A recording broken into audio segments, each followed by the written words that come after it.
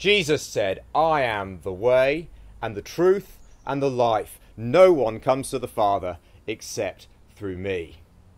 So let's come to the Father now. Through Jesus, by faith, and empowered by the Holy Spirit. Good morning and welcome to Christ Church Sidcup. It's Sunday, the 23rd of August, and this is our Sunday service. My name's Tom Parsons, I'm the vicar at Christchurch.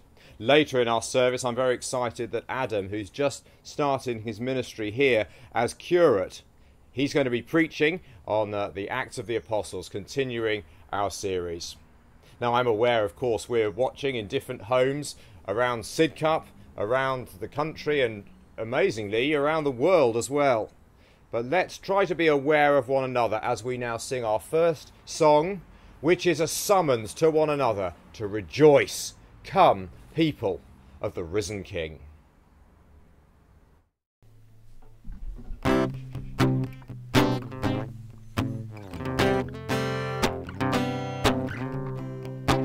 Come, people of the risen King, who delight to bring him praise.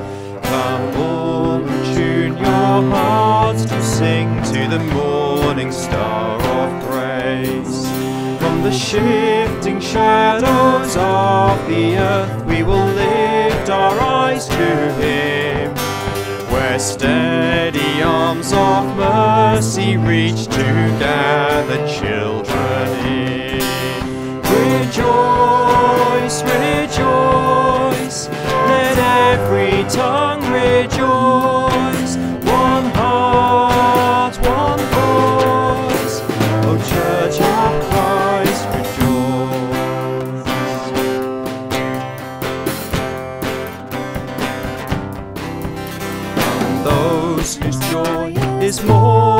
sun, and those weeping through the night.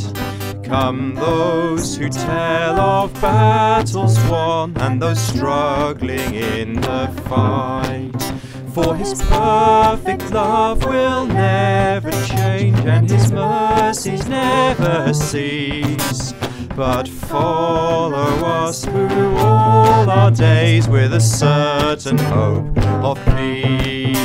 Rejoice, rejoice, let every tongue rejoice. One heart, one voice, O Church of Christ, rejoice.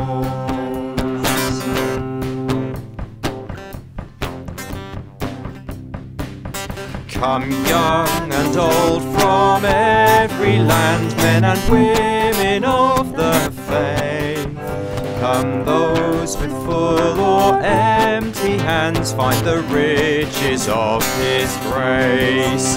Over all the earth His people sing, shore to shore they hear them call.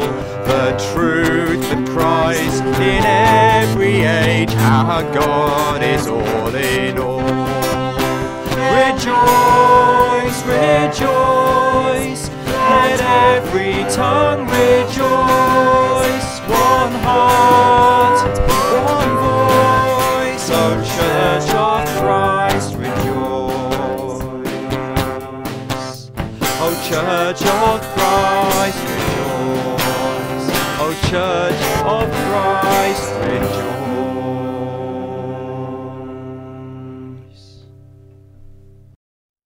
Our hearts are prone to wander. Our eyes are prone to wander. Our lives are prone to wander, lost in a fog of our own desires and thoughts and ideas and agendas. The Bible calls all of that sin. And so we come to confess that sin, and of course, out of that attitude flows all sorts of words and actions too that we might call sin, individual sins, but it all flows deep from within. We wander away. The prophet Isaiah summoned the wandering people of his day back to the Lord, saying this Seek the Lord while he may be found, call upon him while he is near. Let the wicked abandon their ways and the unrighteous their thoughts. Let them turn back to the Lord, who will have mercy, to our God, who will richly pardon. Yes, he will. and he may always be found in Jesus Christ and through faith in Jesus' shed blood. Because Jesus died to bear our sins away from us, enduring the judgment they deserved, that we may instead be forgiven, justified, rather than condemned. And so let's say these words on the screen together, bringing our sin to God. He knows them already, of course, but as a way of turning round to Him. And so let's say together Lord God, we have sinned against you. We have done evil in your sight. We are sorry and repent. Have mercy on us according to your love. Wash away our wrongdoing and cleanse us from our sin. Renew a right spirit within us and restore us to the joy of your salvation through Jesus Christ our Lord. Amen. May the Father of all mercies cleanse us from our sins and restore us in his image to the praise and glory of his name through Jesus Christ our Lord. Amen. Hi everyone. I don't think you've met my friend Sasha. This is Sasha the monkey. Sasha, you look a bit disappointed. Is everything all right? Um, Sasha said he is feeling a bit sad because his holiday was cancelled and he couldn't go away like he wanted to. Well, Sasha, I bet there's probably people watching who couldn't go away on their summer holidays either this year. Everything's been a bit messed up, hasn't it? Well, I've been reading in the Bible about a man called Paul, and he's the same that he was planning to go somewhere and he couldn't. I suppose that is one good thing about not going away, is at least you don't have to do the packing. Oh, I'd love to see your list. Sasha made a packing list. This is a long list, Sasha. There's the tent and the mallet and the sleeping bag and torch, clothes, swimming things, table and chairs, towels. Wow, Sasha, that is a great relief. At least you didn't have to do all that packing. Well, this man Paul that I was telling you about, he travelled all over the place. He was sharing the good news of Jesus and he would travel from place to place. But then, when he tried to go to somewhere called Bithynia, the Lord said, No, I don't want you to go there. And he found he couldn't do it. Hmm. Well, you'd think if he had to go to so many places that he'd have a huge packing list. But in fact, there was only one thing on Paul's list.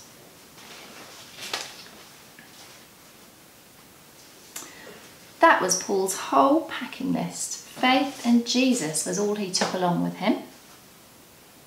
And he needed it because not only did he sometimes get prevented from going where he wanted to go, also his travels weren't always easy.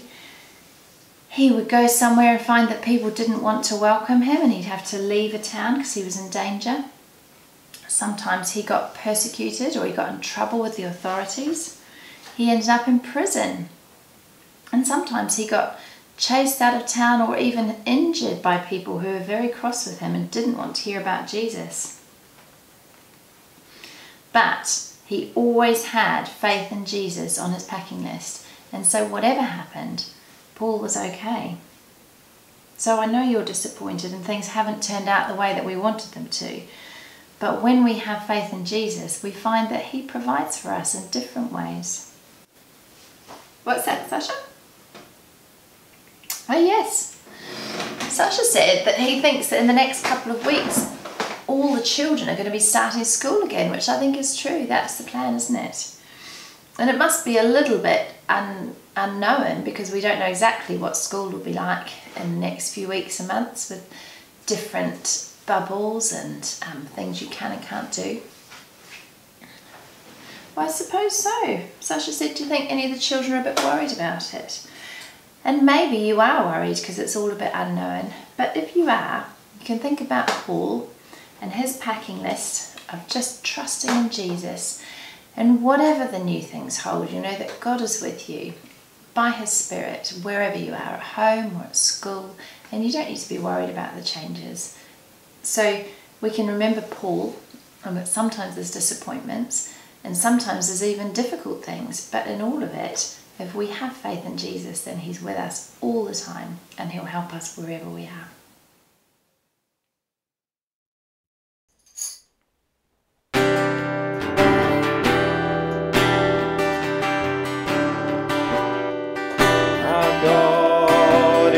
Awesome God who reigns from heaven above with wisdom, power, and love. Our God is an awesome God.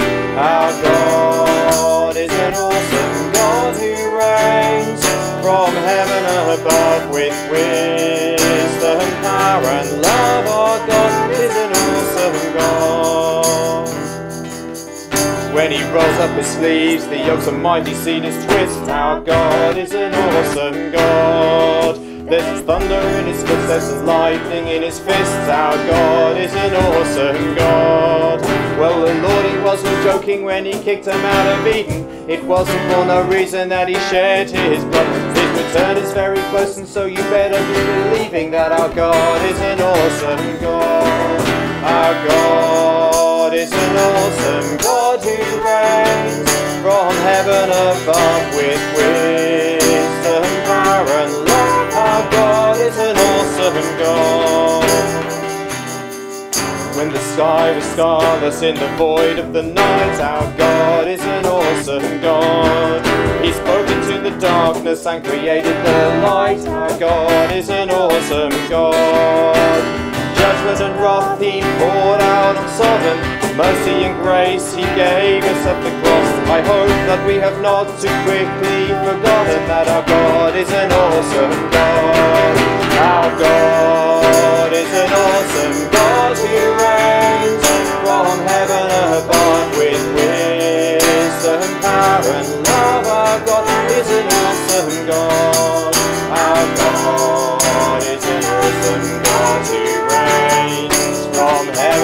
Above with wisdom,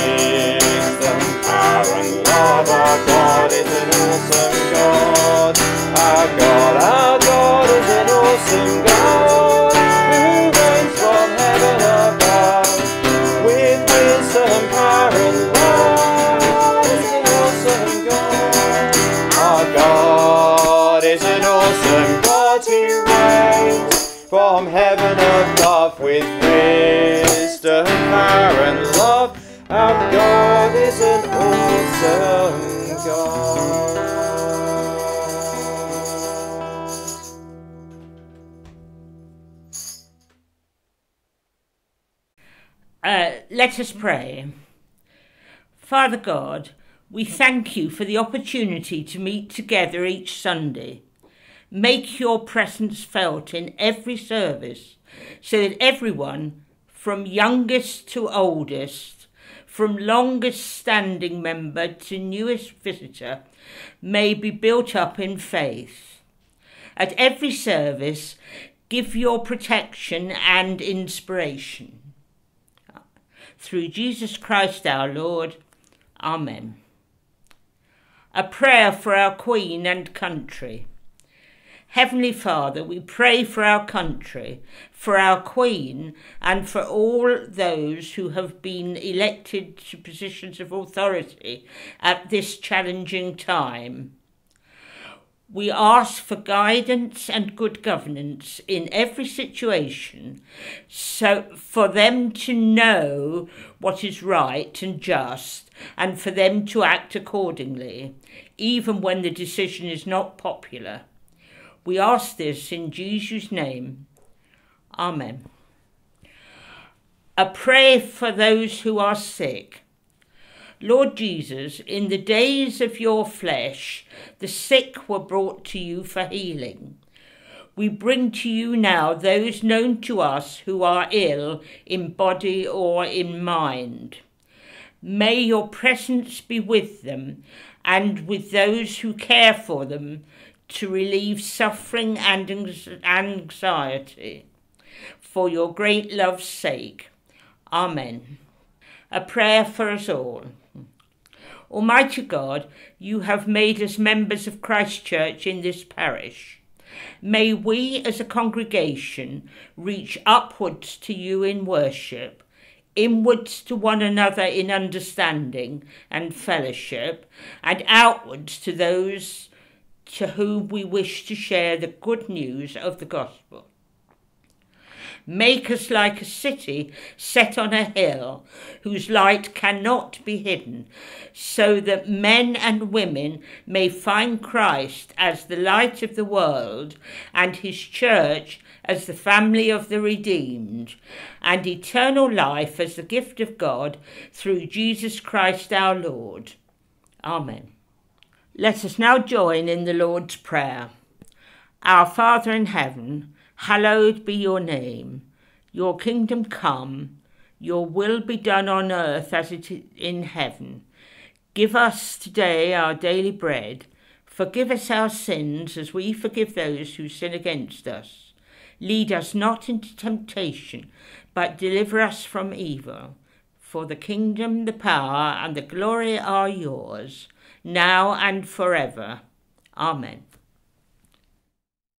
The reading today comes from Acts 13, starting to read at verse 4.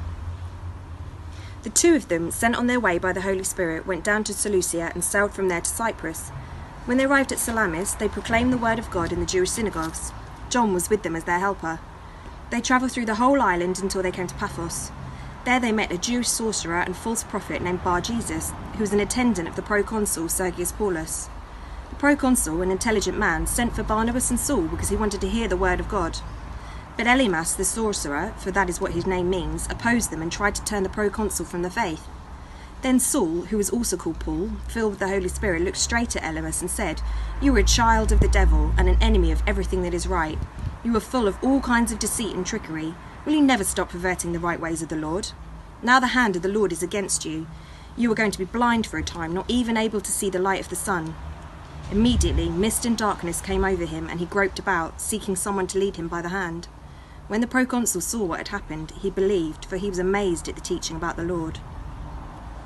The reading continues at verse 49. The word of the Lord spread through the whole region, but the Jewish leaders incited the God fearing women of high standing and the leading men of the city. They stirred up persecution against Paul and Barnabas and expelled them from their region. So they shook their dust off their feet as they warned to them and went to Iconium. And the disciples were filled with joy and with Holy Spirit. This is the word of the Lord. Thanks, Thanks be, to God. It's important to keep planning, especially when things are uncertain. From September, we'd love to get as many people as possible back into the church on Sunday. And so we're going to be making sure that the plans are all in place for that to happen, and we'll make sure those plans are very widely uh, known and so that everybody knows where they are um, at the beginning of September. Also, something else that I'd like to introduce now is a plan to reach out with the gospel of Jesus to some of the houses in our area. I've been talking to Simon Knightley, he's an evangelist with London City Mission, and uh, as I talk to him now, you'll get a sense of what we've got up our sleeves. Simon, good to see you. Good to see you, Tom. And let me give you five very, very brief reasons uh, why I think that a local church doing local door-to-door evangelism is a great thing to do uh, and a great thing that every church should do. Um, firstly, it's, it's, an opportunity to get to know your community. And that may, may sound very obvious, um, but a lot of churches, unless they're actually out in the community in some way reaching out, won't know um, who their neighbours are, won't know who's living um, next door to them, across the road from them, in the local surrounding road. So by, by knocking on people's doors uh, and having a conversation with those people who are in and those people who are willing to chat, it's, it's a great way to actually get to know all the different groups um, within your community. And secondly, it's an opportunity to, to show those neighbours, to show that the members of those community that as a local church, we, we care about them. Um, we're going in love um, with, with the love of Christ as we seek to share the gospel with people. Um, so to stand on, on someone's doorstep, um, you know, to be willing to knock on their door, stepping out of the comfort zone, um, and then listening to them as they start to speak to us is, is a great way for um, for us as the body of Christ in a, in a local context to, to, show our community we care and we want to get to know you and we want to hear from you um, as we engage in conversation and seek to share the gospel. So it's to show the community to love and care Um, and thirdly, of course, is a chance for evangelistic proclamation. So we will go intentionally, prayerfully, aiming to get people into conversation and to start sharing the gospel with them. And, and you know, when I when I come to, to visit you, we can do some training, and I can, I can share with you um, how I go about doing that in my church context, and how some of the other missionaries go about that. Um, another thing I would say, point four, is that through door-to-door ministry, I would say for some people, it could be the only way you're going to reach them. You know, I, I, I meet up regularly, um, and at the moment, I'm just speaking on the phone to an elderly gentleman who's 91 years old, and he's pretty much housebound. You know, so he's not able to get to any church meetings when we're having them in person. Um, and that would be the case for lots of elderly people. And for some people in, um, in, in, particular minority ethnic communities, they can be very, very segregated. Um, so actually going to their door um, and engaging them in a conversation may be the only way evangelistically to reach some people. So I think that's another good reason to do it. And the last thing I would say, uh, very importantly, is, it, is it's a chance for discipleship uh, among among the church. You know, as brothers and sisters, we go together, we go in pairs, and we encourage one another. Um, so for, for that reason as well. Mm. Yeah, and I think I mean what because because you the idea would be that you would come in and do some um, training with us and um, and actually lead us in doing it. And I think often with evangelism training is you do you have a, a session on you know how to share the gospel, and then you're slightly left hanging, wondering when you're going to get an opportunity to talk about the gospel. But what you're talking about is mm. giving some training, then actually going out and by God's grace actually doing some evangelism. Absolutely. Which is, Absolutely. Which is very exciting, really. Yeah. yeah. yeah. And I remember when I first started doing this in my context and, my church, and a couple of people, um, older folks, came on and joined the team and they said, Well, we're, we're a bit nervous. We've never done anything like this before. Um, and they've been coming out faithfully and find that, finding that they, they found it a lot less daunting than they thought it would be. Simon, thank you very, very much for joining us. And um, we will look forward to seeing you in a few months' time. Yeah, pleasure, Tom. Really look forward to that. Thank you. All right. See ya. See ya.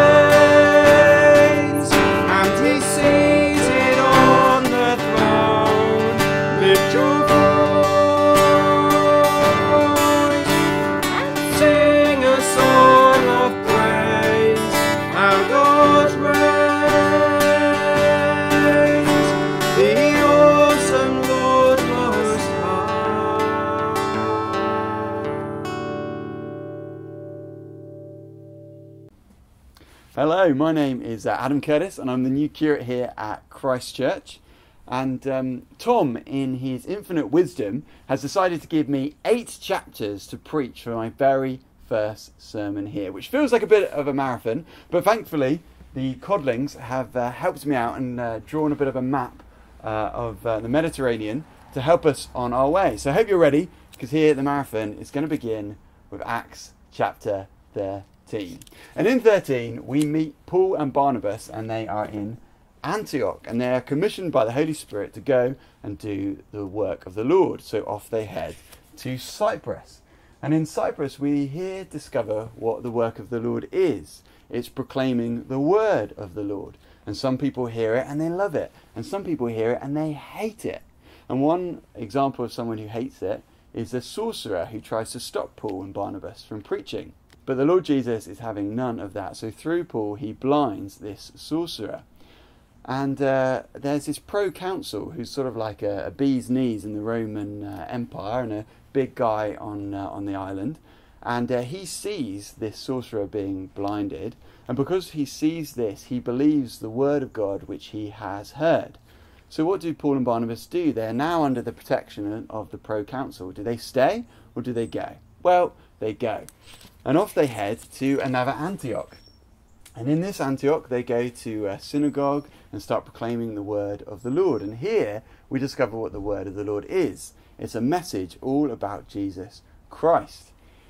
And Paul says that everything you heard about Abraham is fulfilled in Jesus. Everything you heard about David is fulfilled in Jesus. Jesus has come. He has died. He has risen from the dead. And now the forgiveness of sins is available to all people, to Jews first, but also to Gentiles. And the Gentiles and the Jews who hear this aren't particularly happy that the Gentiles are included. So they push Paul and Barnabas out. And so Paul and Barnabas head to Iconium.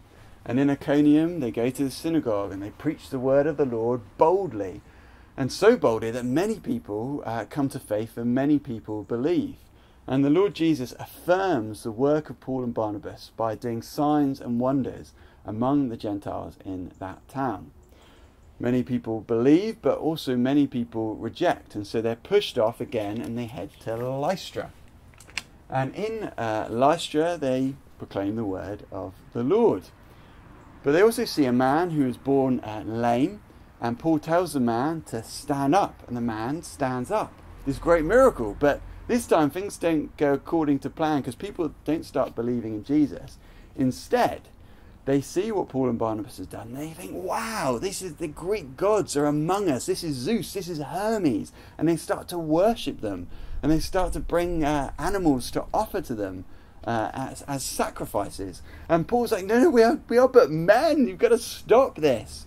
And the crowd don't particularly like this. And they start to stone Paul and Barnabas and drive them out. And they're driven out and they head to, uh, to Derbe. And in Derbe, uh, they go to synagogue and they preach the word of, of the Lord uh, boldly. And then from Derbe, they decide to go back uh, and to encourage the churches which they have, um, which have now been established. And what does this encouragement look like? Well, it looks like establishing elders. It's pretty routine. You've got to get yourself leaders. You've got to be organized. You've got to become a, a group and a body.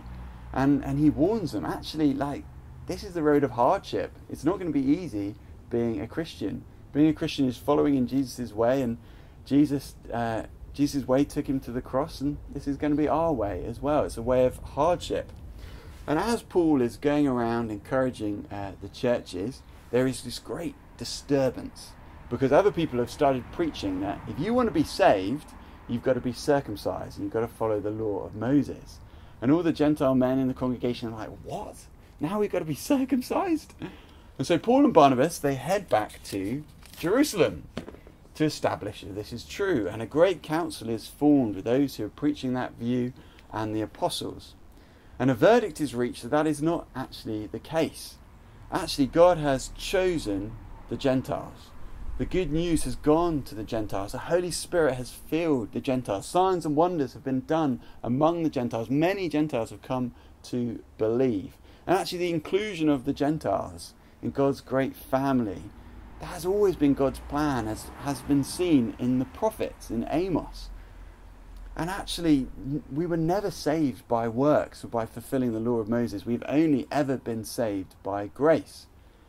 And so, Paul and Barnabas, they take this in a letter and they go to the churches to encourage them with this news that we're saved by grace.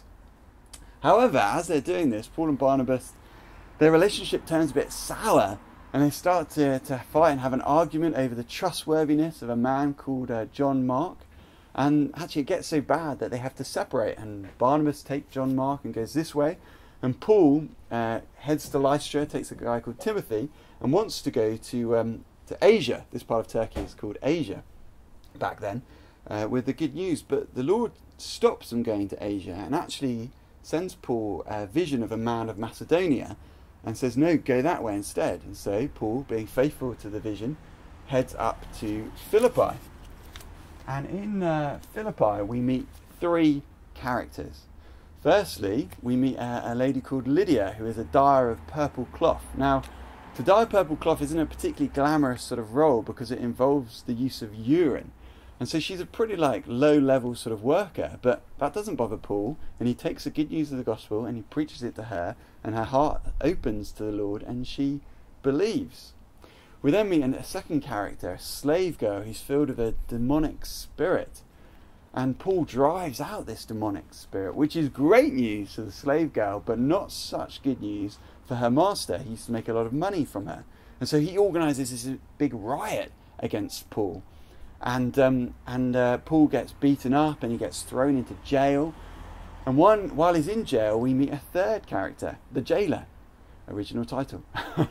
we meet the jailer, and here, while Paul is in jail, he has this miraculous moment to escape, but actually he chooses not to take it, and because of this, the jailer is in Paul's debt. You see, if Paul had escaped, then the jailer would have been killed, but because he didn't escape, the jailer gets to live. And so the jailer invites Paul and Barnabas and Timothy, sorry, into his home. He hears the good news, he believes, and his whole household is baptized. From Philippi, Paul heads to Thessalonica, where he preaches the good news. Some people believe it, and some people hate it and reject it and push him on, and he heads to Berea.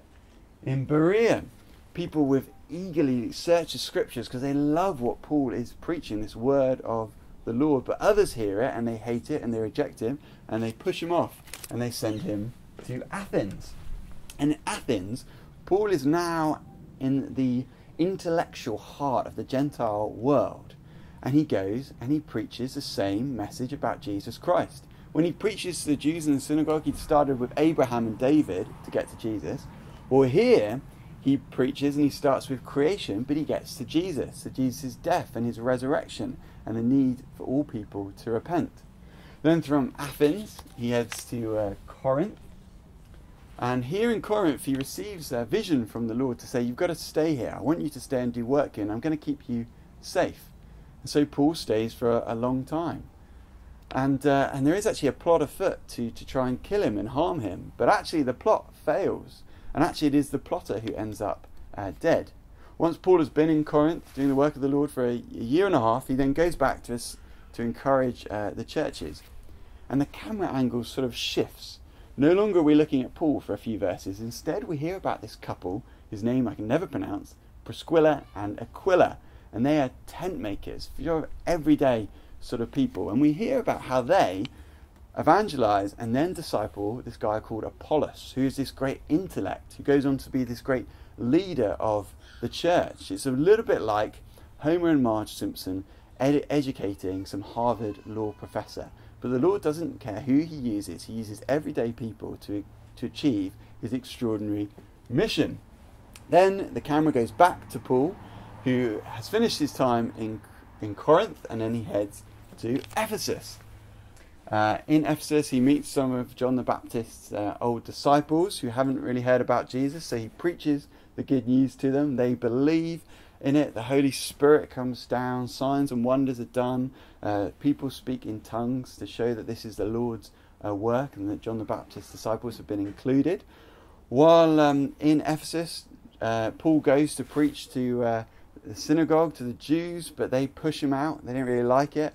And so he goes to preach to the Gentiles who love it. And in fact, so many Gentiles love it that there starts to be this economic sort of impact because suddenly all these Gentile believers who once would have bought like idols to the great goddess Artemis, they're no longer doing that. And so the silversmiths who used to make those idols, like they're losing out on this money, and so they start this big riot against Paul to try and drive him out. But actually, the riot comes to nothing, and it's all just gently uh, dispersed. So Paul does God's good work in Ephesus. Then after he's been there, he goes to encourage the uh, churches. Um, and while he's encouraging the churches, we hear this strange story about him preaching for such a long uh, period of time. Maybe his boss gave him eight chapters in Acts. Uh, that actually a um, a man, a boy, falls down from the barn where he's preaching and dies. And actually, Paul then raises him uh, to life. Uh, Paul then raises him to life and uh, continues on his way, encouraging the churches. He then makes it back to Ephesus. He gathers the elders together and he says, actually, the road ahead is not going to be easy. You've got to guard yourself against the wolves because they're going to come for you. And he commits them to the word of the Lord and to the word of God's grace. And then he heads off back to uh, Jerusalem. Wow, what a marathon that was! Eight chapters of Acts. And in all of this, what do we think the Lord God is actually teaching us? What's his big point here? I think his big point is that Jesus is on the move. Jesus is on the move. This little spark, which started in Jerusalem with Jesus' resurrection, is like this wildfire which is just covering the whole earth. It's, it's a little bit like um, if in Paris, in a lab in Paris, this vaccine for COVID 19 is discovered, and then from this lab it spreads to all the hospitals in Paris, and from these hospitals it spreads to the whole country, and then it starts flying off to Spain, and to Italy, and to Germany, and to Britain, and then to America, and then to Russia, and then to China, and then to Brazil.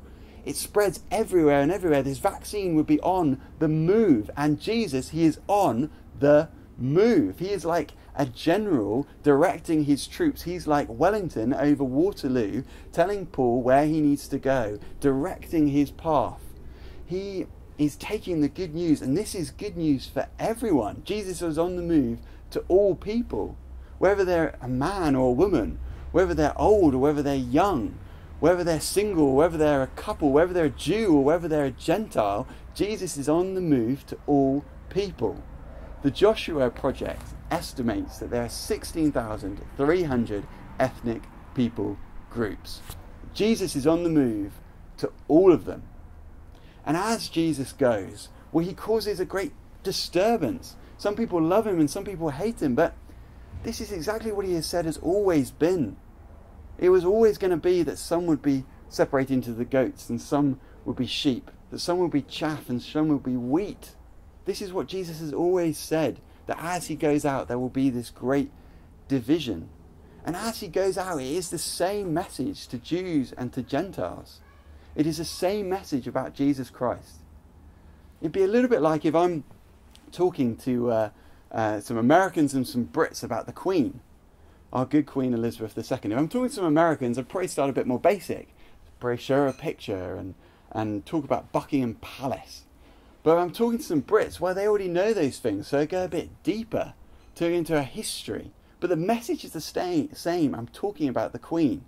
And Paul, whether he's talking to Jews and he talks about David and Abraham, or he's talking to Gentiles and he talks about creation, that which they can see, he's there his starting point, but the message is the same the death, the resurrection of the Lord Jesus Christ, and everyone's need to repent and to believe.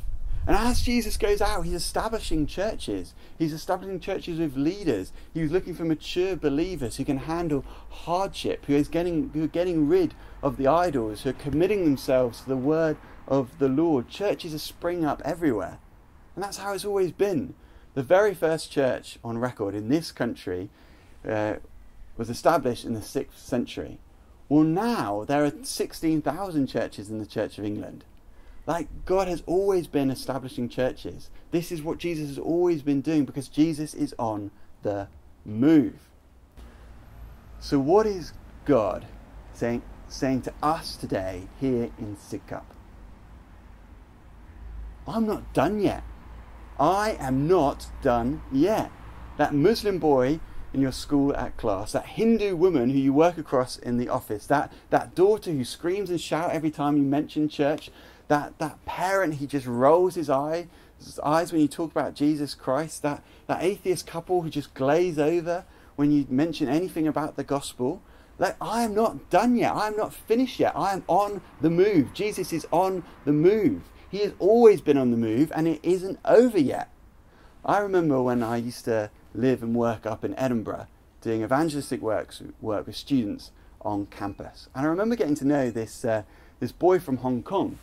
And I got to know him in uh, Freshers Week, the first few weeks of term. And then I didn't see him again for months and months and months. And we were doing this great evangelistic mission week on his campus. And I was out getting some flyers. And then this guy from Hong Kong came over and said, Hi, do you remember me? And if I was honest, I didn't. But we got talking again, and then he came along to a few evangelistic events, and then he came along to a follow up course, and then he got plugged in at a church. And Jesus became his real living Lord. And I was on the phone to him the other day, and he's back in Hong Kong, and he's plugged in at a church there, and now he's inviting his family, and his brother comes along to church with him. Jesus is on the move. I remember at that same mission getting to know this uh, this girl from France, who um, uh, getting to know this girl from France, who when she was a child had was given a cartoon version of the Bible, and she read it and she loved it hearing all about Jesus. But her parents are atheists and they didn't really care, so they didn't take her to church, they didn't answer any of her questions. Then, when uh, uh, she got grew up and she came to Edinburgh and she saw this mission week, she was just so excited to hear more about, about Jesus Christ, and she just lapped it up. She was desperate to know more. Jesus is on the move, even if it starts with a little comic book from when someone is a child. So what is what is God then saying to us today? What is he saying to me? What is he saying to you? What should we be doing because of this? Well, I don't know what God's spirit is saying to you, but maybe maybe we just need to get on our knees and just start praying for the people we love and start fasting for them. Maybe we need to start praying that God's good news will spread across Sidcup. Maybe we need to be bold and start telling people, actually, yeah, I'm, I'm a Christian, I believe in Jesus, whether that be at school or at work. I remember Roger Carswell saying, "Start use use celebrations. At a celebration, you always get an opportunity to speak, to, to give a speech at a birthday party or a wedding or whatever. Well, start speaking about Jesus. He's the one we're excited about. He's the one we want to celebrate. Maybe we just need to start sharing this very post, this very sermon on on YouTube. Maybe we need to start inviting our friends to uh, to Christianity Explored or to read the Bible with us." Maybe we need to think about financially what, what does our giving look like to support God's mission. Maybe we need to go on God's mission far, far away to a foreign uh, country. Or maybe as you're sat there today, you realize that actually Jesus is on the move and he's on the move to you right now. You know he's the Lord and you need to get on your knees and repent and believe. Or maybe you just need to be encouraged that this is who our God is, that he is on the move that he hasn't stopped, that he isn't finished yet. This is our God. Jesus is on the move and he's not done yet. Let's pray. Dearest God, King of Kings and Lord of Lords, we thank you that you have sent your Son, Jesus Christ, that he has come, that he has lived, that he has died, that he has risen again, and that through his death and resurrection, the forgiveness of sins is available to all people, to Jews and to Gentiles. We thank you that this news is spreading like a wildfire. We thank you that your Son was on the move through Paul and through Barnabas and through Timothy, and he's on the move now. We pray, Father God, may, be, may he be on the move here in Sidcup, and may many people hear, and may many people believe. Amen.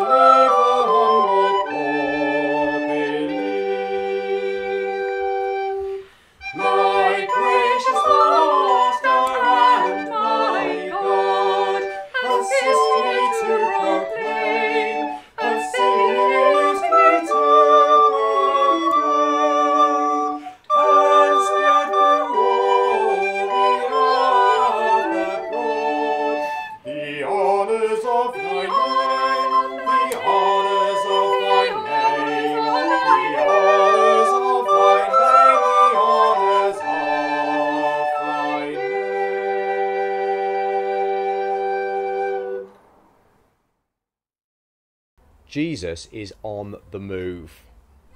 Let's pray now as we close our service that we will be on the move with Him. Heavenly Father, thank you for this message. Thank you for this great movement of Jesus, sent from heaven by the Spirit through His people. And we offer ourselves to be part of that movement today. Show us, lead us, embolden us. We pray for Adam as he settles in as curate at Christ Church. Fill him with a great sense of assurance and that he is in exactly your place for him. And now may the blessing of God Almighty, the Father, the Son, and the Holy Spirit be upon us and remain with us and those whom we love, both near at hand and far away, this day and always. Amen.